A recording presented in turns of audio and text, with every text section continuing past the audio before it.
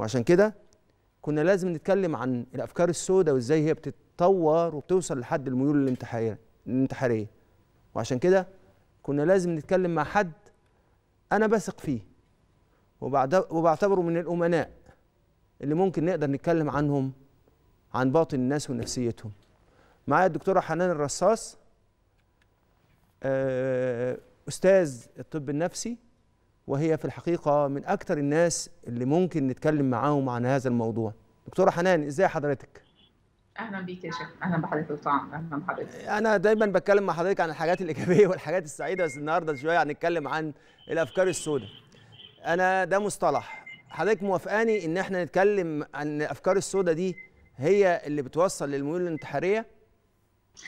جزء كبير منها بيبقى ده البداية بتاعته. إن هي الأفكار السوداوية أو بنسميها عندنا الأفكار السلبية. بالظبط. جزء كبير منها كده يعني. طيب خليني أسأل حضرتك سؤال.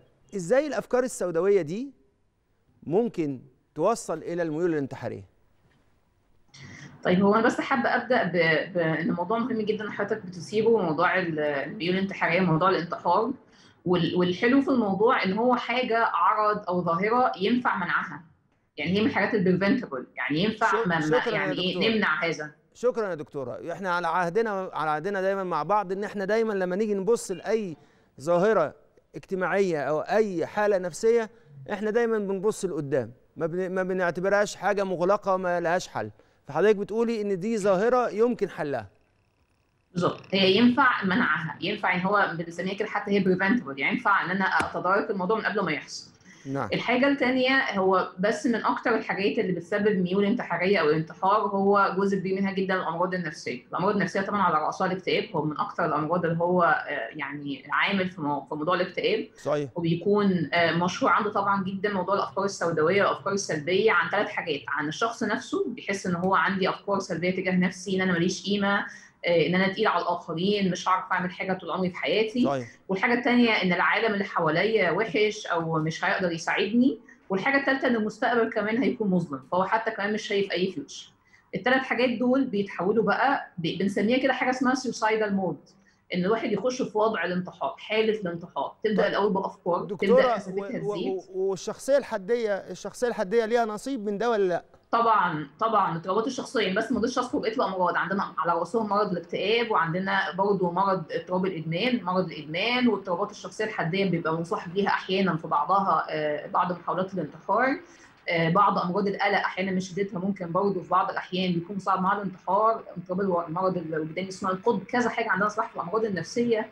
يعني حتى في احصائيه بتقول إن الأمراض النفسية هتلاقيها فيلم أحيانا في بعض الناس اللي بينتحروا من 27 ل 90 up to 90% طب دكتورة أنا عايز معلش أنا. معلش أنا بحاول بقدر الإمكان إن أنا أنتفع بحضرتك باقدر بأقصى قدر ممكن حضرتك ممكن تقول لنا إيه الحاجات اللي ممكن من خلالها نعرف إن الشخص ده عنده ميول انتحارية هو اول حاجة زي ما بتقول حضرتك هو دخل في حاجة اسمها suicidal mode إن هو واقع الانتحار بيبدأ بأفكار مشاعر هتلاقيها كتير مشاعر حزن آه، آه، مسيطرة عليه أحيانا مثلا مشاعر crazy أو إن هو خجلان أو حاسس إن أنا آه، أنا أصلا ما استاهلش أكون موجود ومشاعر إن أنا مستعاري حتى من نفسي ممكن توصل مم. للدرجه دي.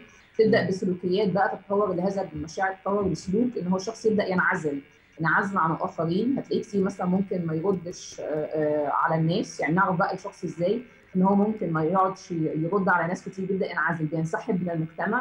ممكن بعضهم آه، بيبدأ آه، نلاحظ عليه إن هو مزاجه سيء كتير كلامه كتير بيتكلم إن مفيش مستقبل مش هعرف أعمل حاجة. بشده عالية مش زي مثلا بعض الناس عايزة تتكلم إن مثلا مفيش فايدة كده وبتمشي في حياتها.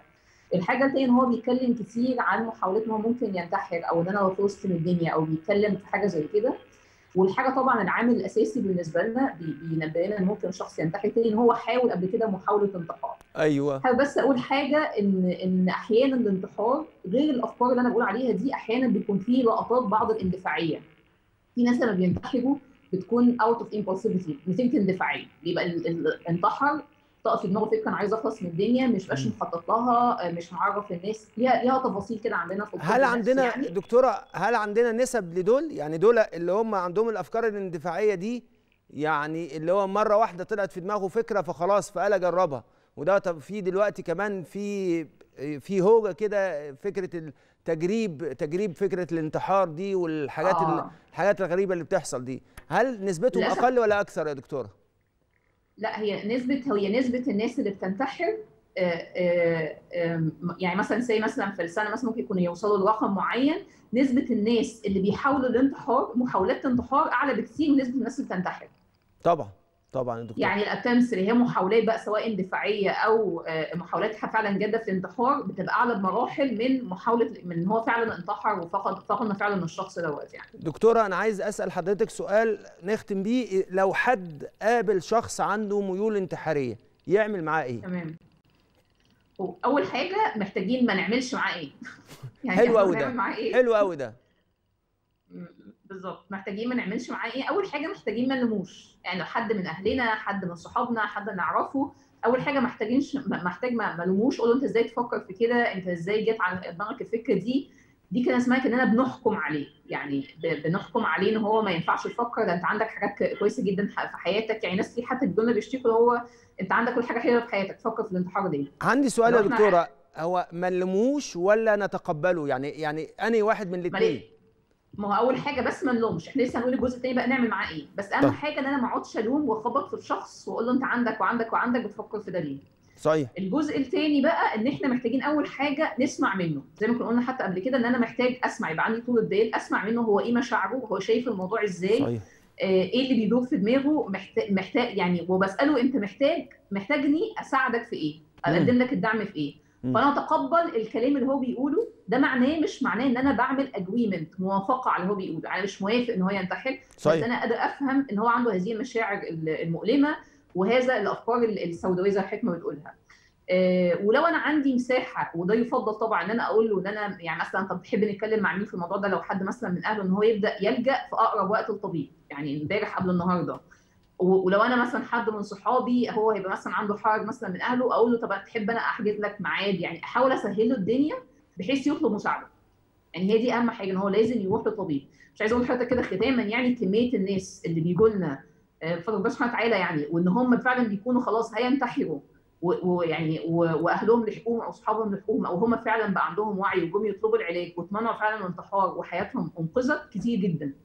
أنا م- وماشيين في حياتهم دلوقتي بشكل رائع يعني. أنا مصدق ده يا دكتورة. وعشان كده إحنا عملنا الحلقات دي وإن شاء الله في بقية الحلقة هنقول إحنا مسلكنا في هذا الكلام. لكن ما أقدرش ما ما, ما أشكرش حضرتك على هذه على هذه الإفادة ال- البراقة وجزاك الله خيرا وألف شكر لحضرتك على هذه المعلومات المهمة جدا جدا في قضية أصبحت قضية ما ينفعش السكوت عنها. شكرا لحضرتك يا دكتورة حنان.